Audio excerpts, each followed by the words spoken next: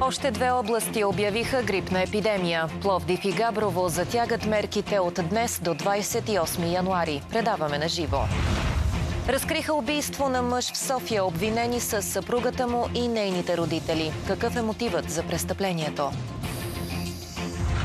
Арктическите студове убиха над 90 души в Съединените щати. Стотици хиляди германци на протест пред след журналистическо разследване. Планирали крайната десница да експулсира милиони чужденци. И още, коя е думата на 2023 година в България?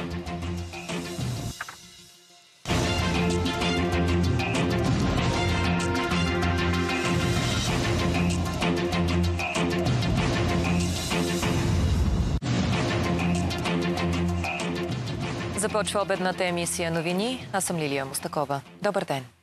Още две области у нас обявяват грипна епидемия от днес заради повишената заболеваемост. Това са Габрово и Пловдив. Въвеждат се временни мерки до 28 януари. Преустановяват се плановите консултации на здрави бременни жени и деца. Не са позволени профилактичните прегледи и задължителните иммунизации и реимунизации. Повече по темата от нашите репортери. Първо към Пловдив и Илиян Велков. Добър ден, слушаме те. Добър ден от Пловдив. С 10% са се увеличили болните от грип за района на Пловдив. Това сочат данните, които бяха оповестени буквално преди минути. 228 души на 10 000 са заболелите в града. В училищата и детските градини е въведен филтър още на входа. Болни не се допускат, измерва се температурата на децата още на входа на детските и учебни заведения. Опашки от заразени с остри респираторни заболявания се наблюдават пред детските и лекарските кабинети в града преустановени са свижданията, както и плановите операции. Чуйте още. Мерките в момента са измерване на температурата на всяко дете, което влиза в градината. Дали са достатъчни, не мога да кажа.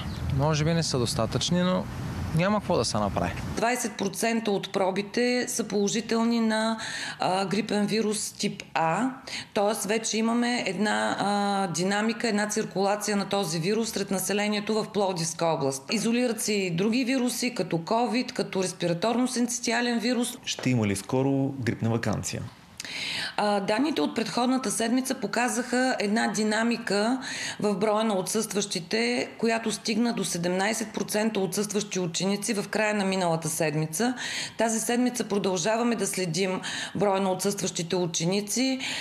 При наличие на съответните данни ще се предприемат действия и за преустановяване на учебните занятия в училищата.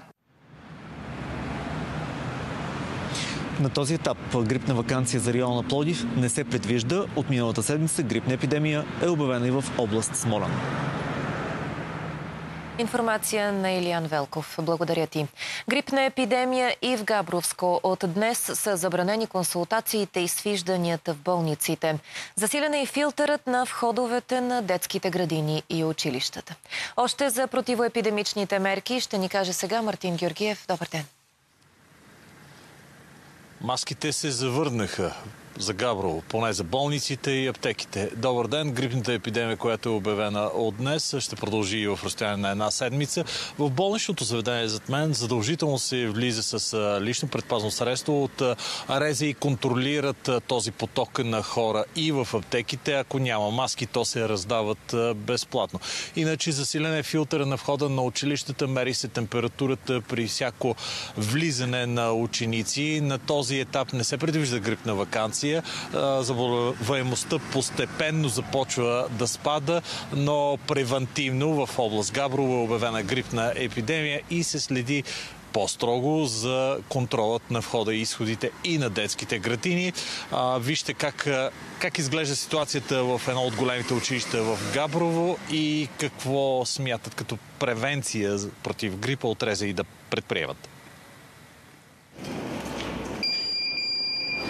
Живия филтър, т.е. медицинското лице на входа, заедно с дежурните учители, които проследяват за видимо неразположение и са в готовност да върнат ученика, ако видят, че има такъв на входа.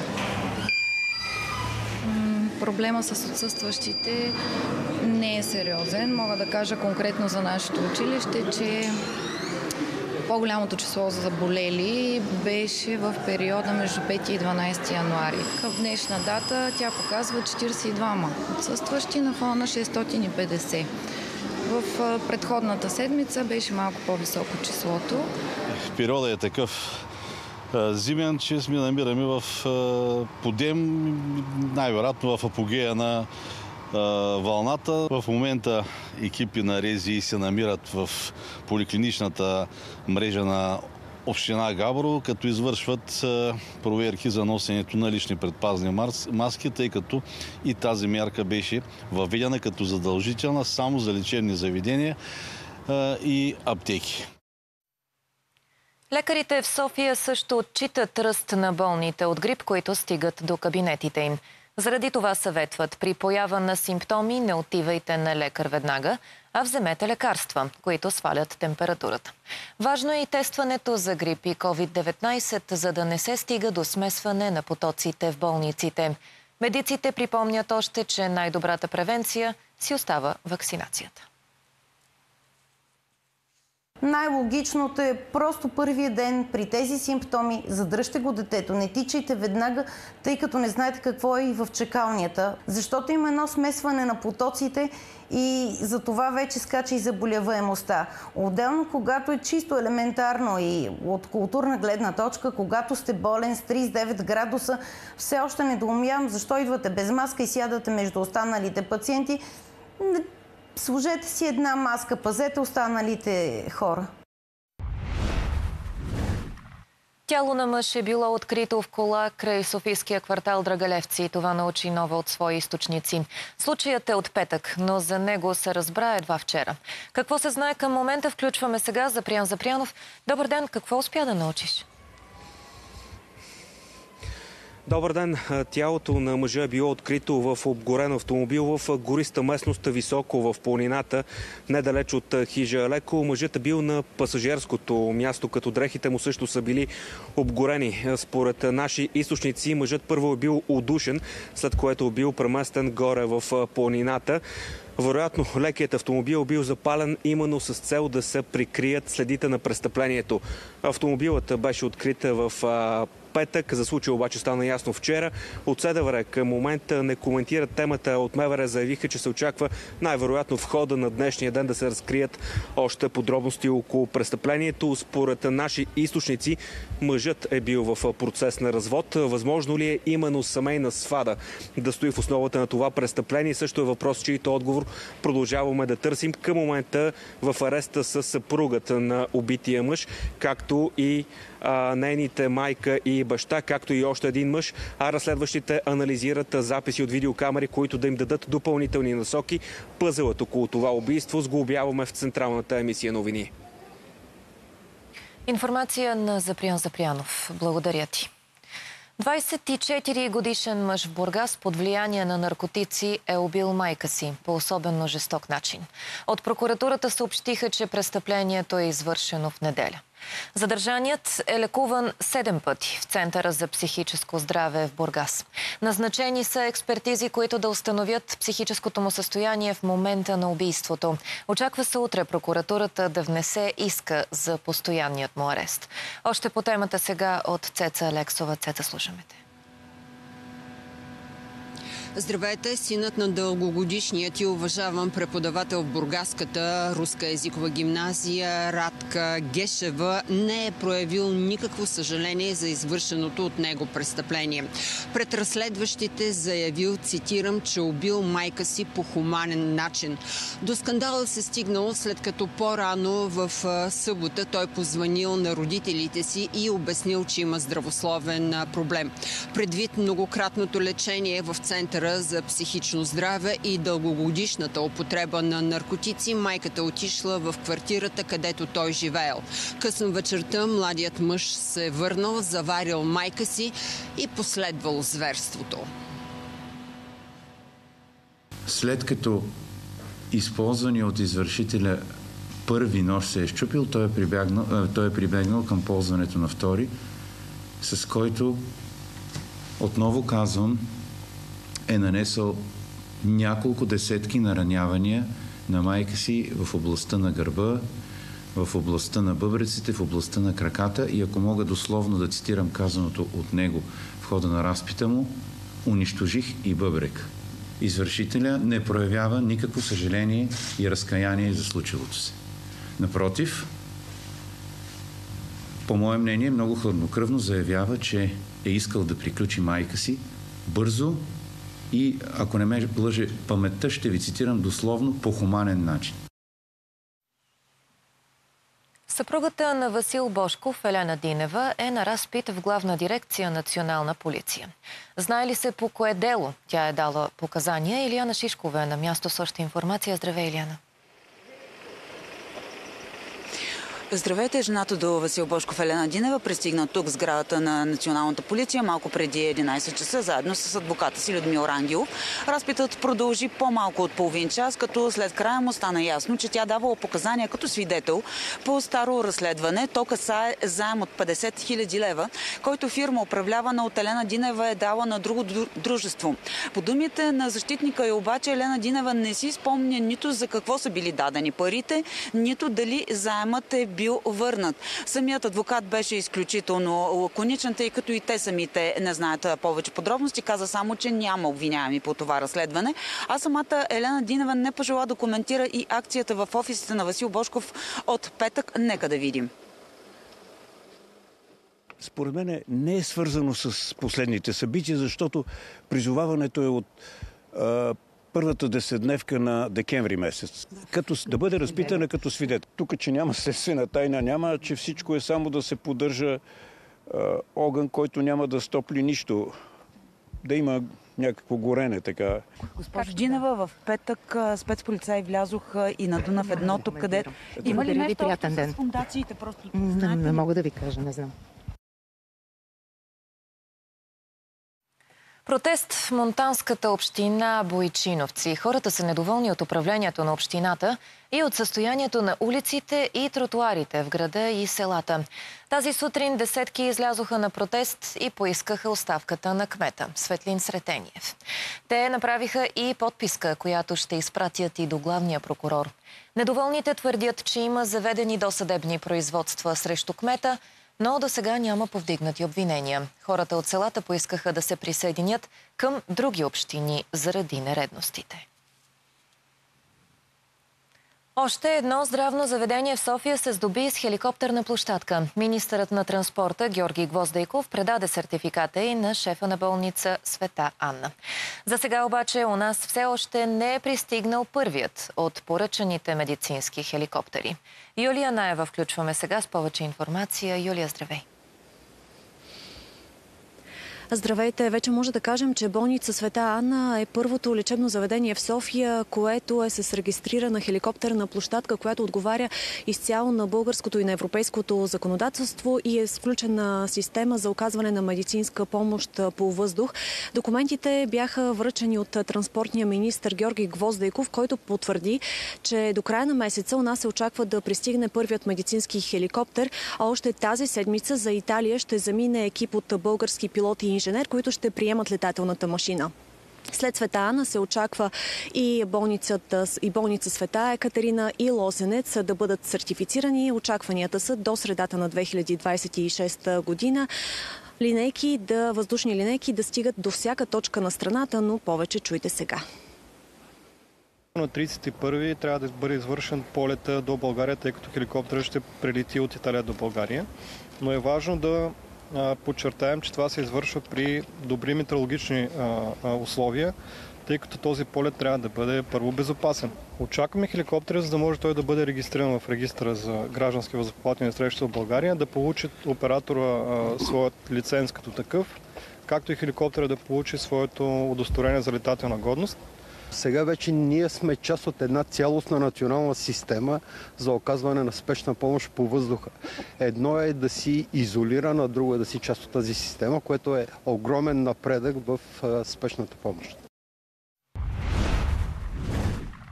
Водещите теми от света. Над 91 жертви на студеното време в Съединените щати.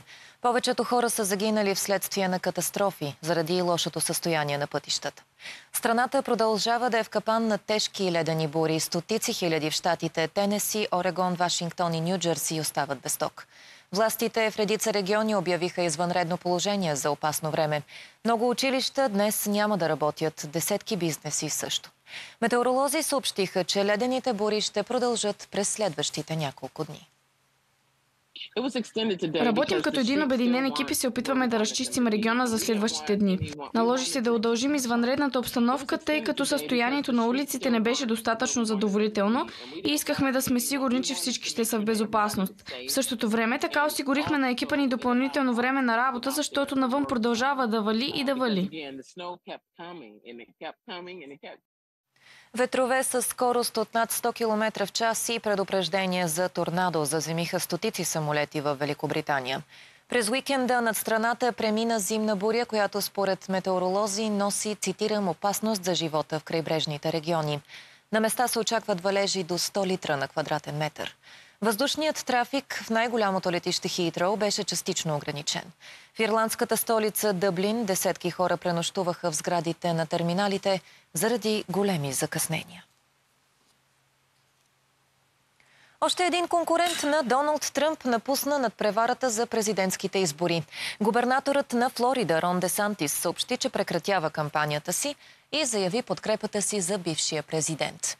Това стана само два дни преди първичните избори в Нью Хемпшир, едва вторият щат, който ще излъчи кандидат на Републиканската партия. Така единствен съперник на Доналд Тръмп остава Ники Хейли, бивш посланник на Съединените щати в ООН. Макар социологически проучвания да описваха Десантис като потенциален победител в надпреварата срещу Тръмп, разликата между двамата при вота в Айова беше огромна. След второто място в Айова спряхме и обмислихме как можем да продължим напред. Ако имаше нещо повече, което да направя, за да осигуря по-добър резултат, повече места, на които да отида, повече интервюта, щях да го направя.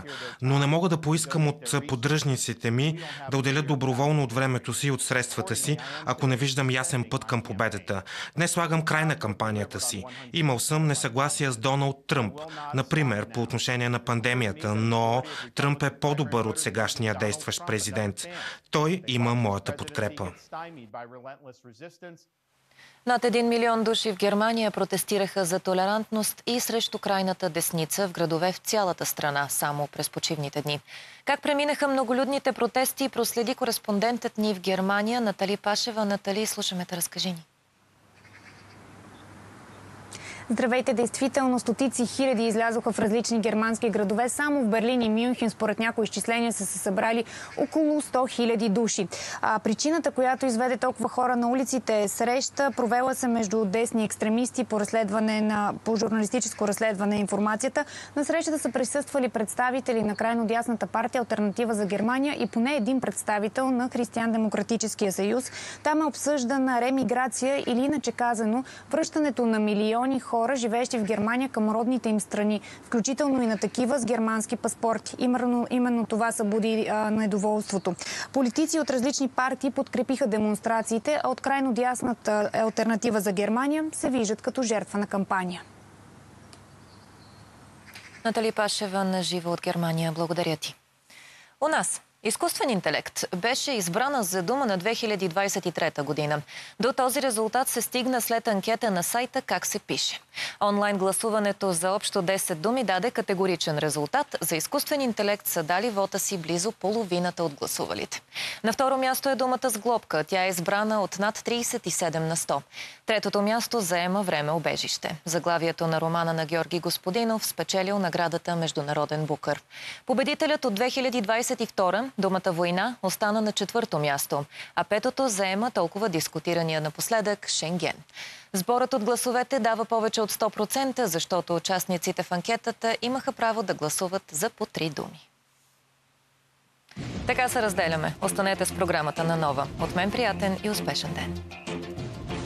В интернет новините са на нова.бг. Новините на Нова. Довери се на опита.